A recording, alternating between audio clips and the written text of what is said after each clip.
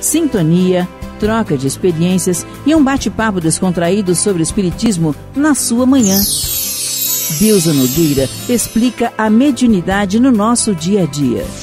Começa agora, na sua Rádio Rio de Janeiro, o programa Conversando sobre Mediunidade.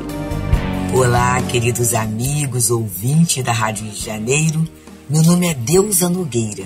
Estamos nós conversando sobre a mediunidade.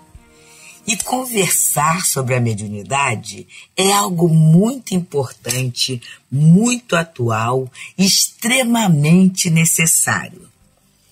Eu gostaria que os companheiros refletissem uma coisa. A partir de que momento a gente deve começar a conversar sobre a mediunidade?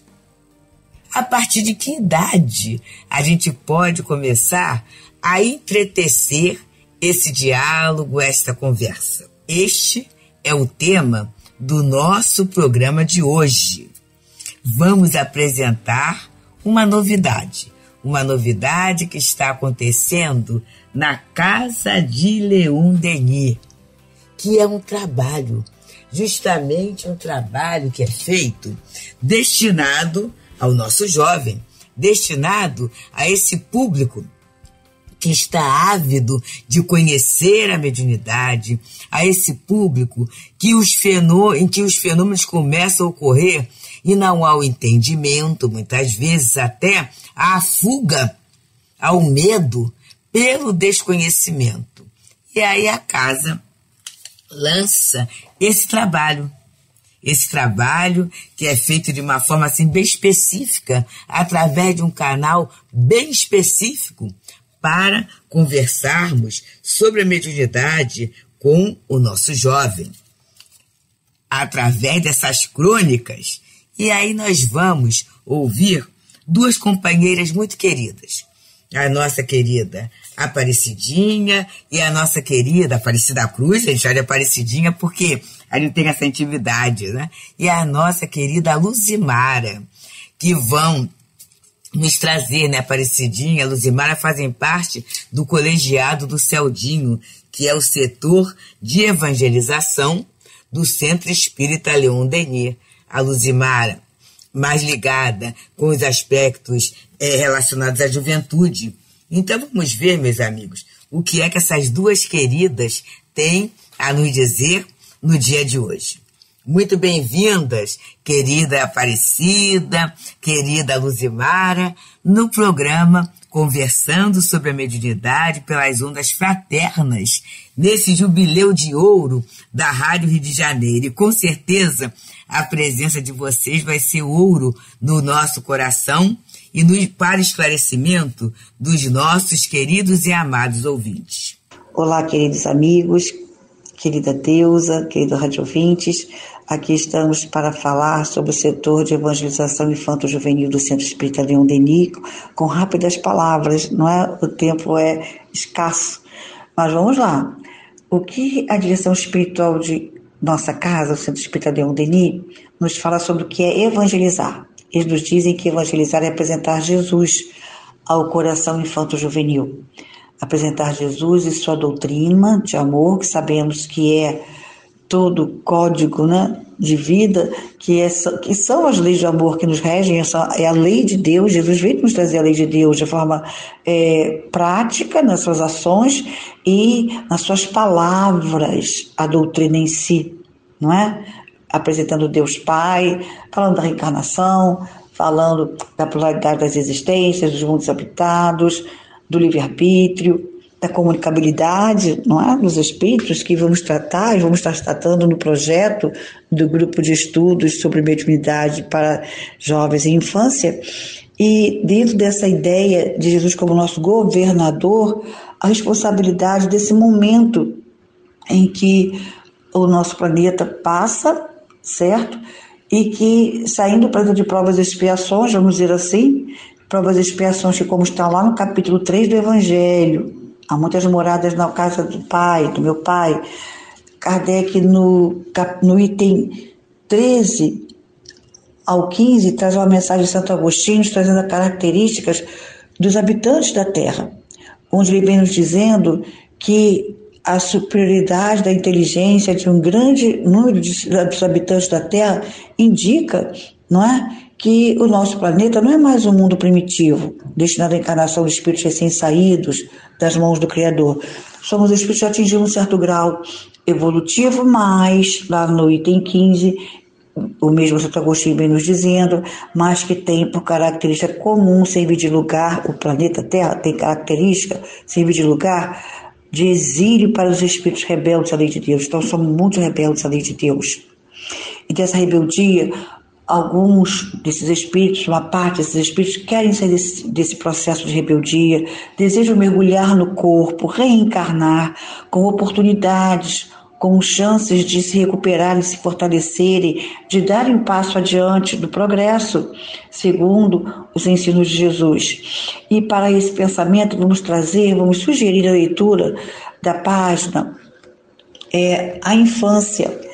É uma mensagem do Espírito Ruth de Santana e está no livro O Evangelho e Vida, que a nossa querida Brunilde do Espírito Santo Mendes organizou essas mensagens e nesse texto sobre a infância, a nossa querida Ruth, Ruth Santana vem nos falando sobre é, o descaso dos pais educadores, não é?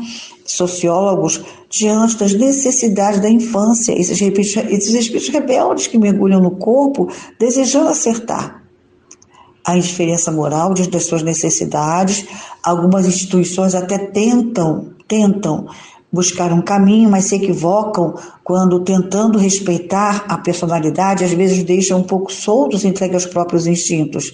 E ela vai lembrando também o quanto é, algumas instituições, até as casas espíritas, evangelizam na criança, dão lá orientação religiosa, mas também precisam conversar com os pais, principalmente nas casas espíritas, no sentido de que esses pais às vezes pensam em deixar que eles escolham as suas religiões quando estiverem mais crescidos, e apenas lembrando, nesse tempo, às vezes, esperando que o filho escolha qual vai ser a sua religião, de repente, o mal já fez o seu caminho, não é? E arranca essa criança e esse jovem do caminho do bem. Ela vem falar também o quanto as evangelizações precisam ser práticas, muito práticas, para que as crianças compreendam exatamente, as crianças jovens exatamente o que é, não é? A grande missão do Cristo.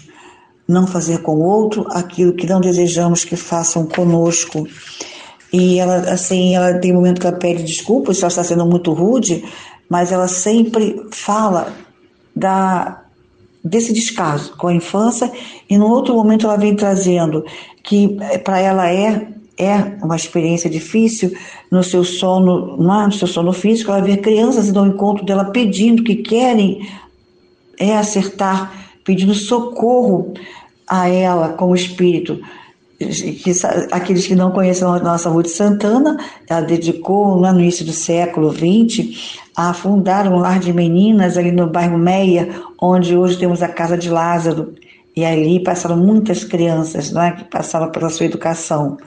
Ela vem finalizando, enfim, dizendo que falamos muito sobre reencarnação, falamos muito sobre reencarnação, mas esquecemos de ensinar o que esses jovens, essas crianças devem fazer da reencarnação chamando atenção então para a importância de levarmos né, a luz para que a Terra mais adiante seja também um mundo de luz.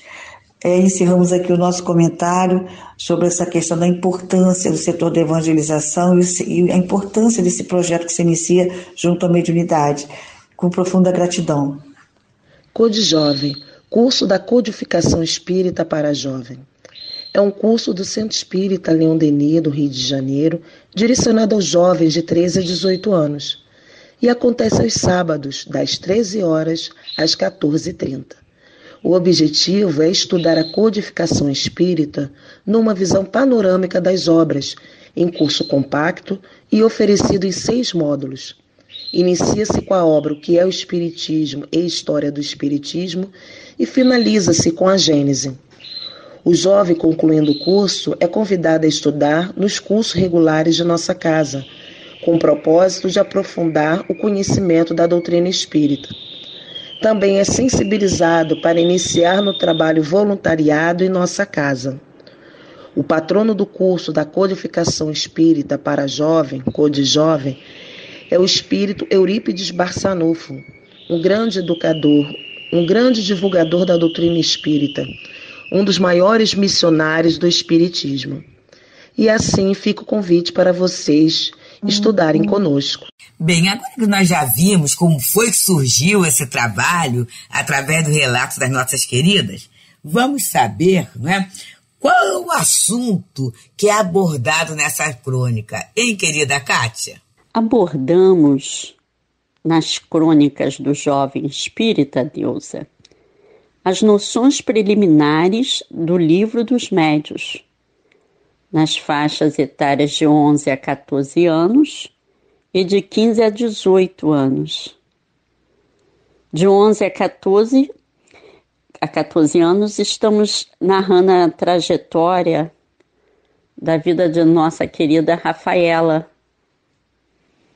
uma personagem criada pelo grupo do Genge, que é o grupo de estudos sobre mediunidade para juventude e infância. Nós criamos essa personagem e ali, a cada crônica, ela vai narrando a sua trajetória de vida dentro do centro espírita.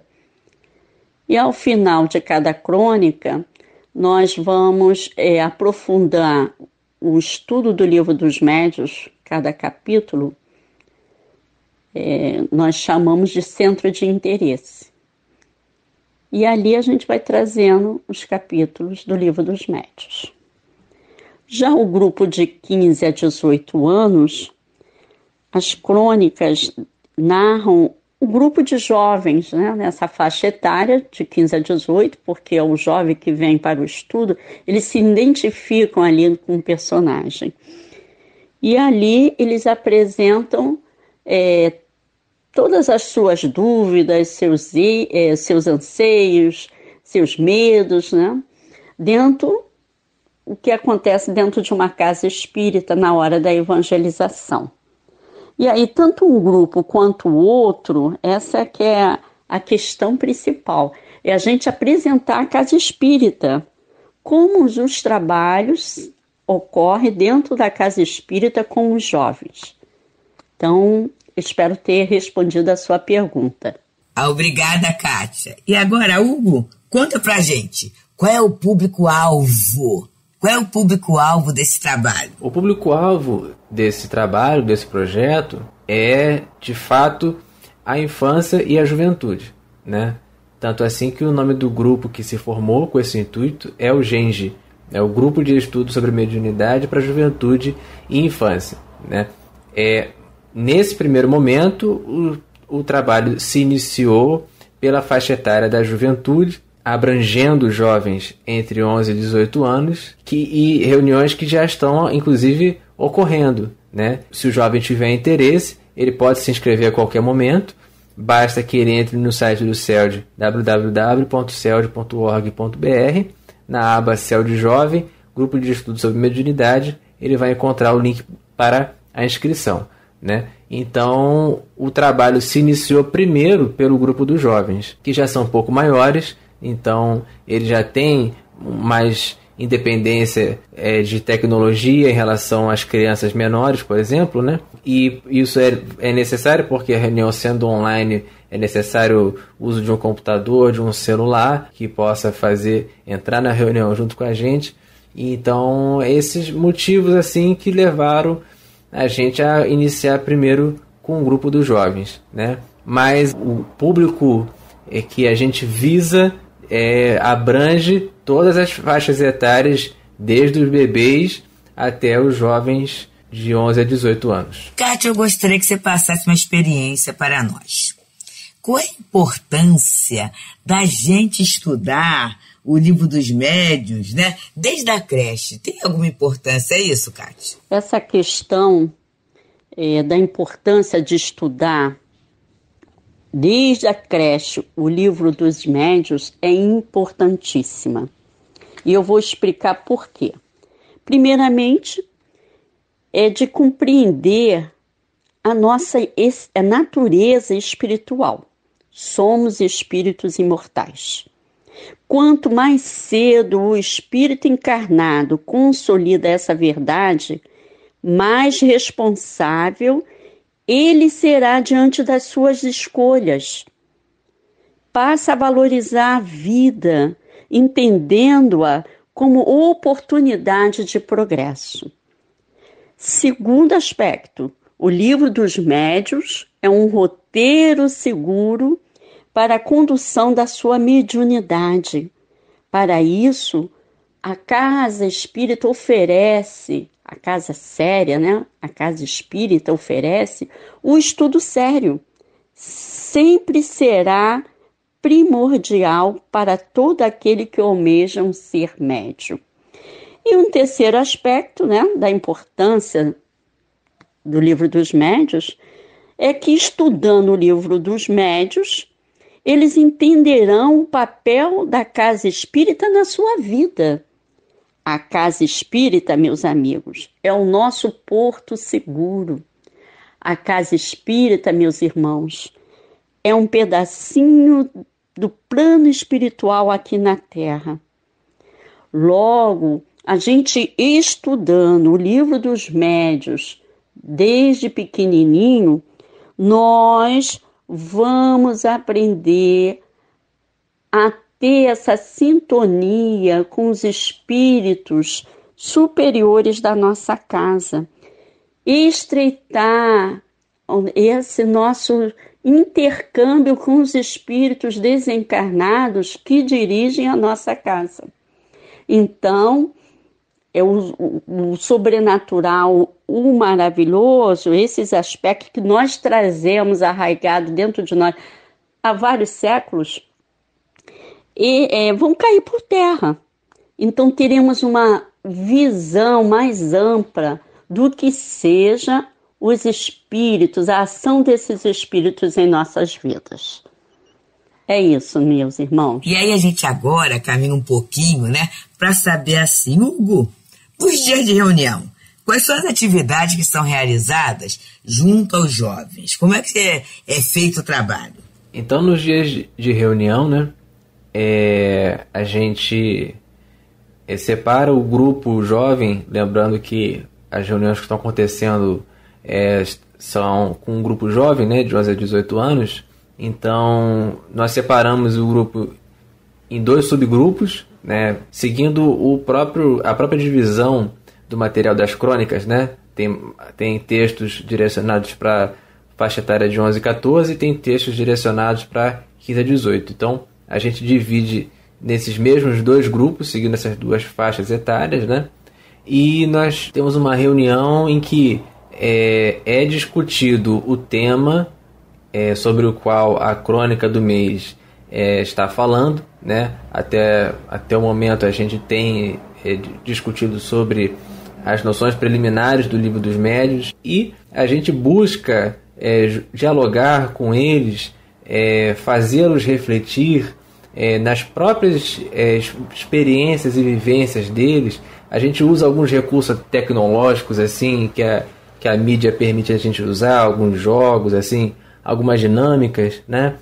É, para que a gente possa é, trazer à tona das experiências deles, né, é, para que eles enxerguem onde que cada um dos conceitos que o livro dos médios nos apresenta, onde que isso encaixa na vida deles, né? Que perguntas esses conceitos vêm responder, né? É, para que a gente possa entendendo e, e, e construindo junto a, a, ao jovem e futuramente junto aos, aos bebês e às crianças, né? Essa noção de que o que se conhece como teoria, na verdade, é um conhecimento muito prático. E é um conhecimento prático porque a, a própria mediunidade, né? O que se conhece da mediunidade é, é, foi possível pela observação, pela experimentação do próprio fenômeno mediúnico, né? Então não existe uma teoria é, que esteja afastada da prática do dia a dia. Na verdade, essas coisas são juntas, né?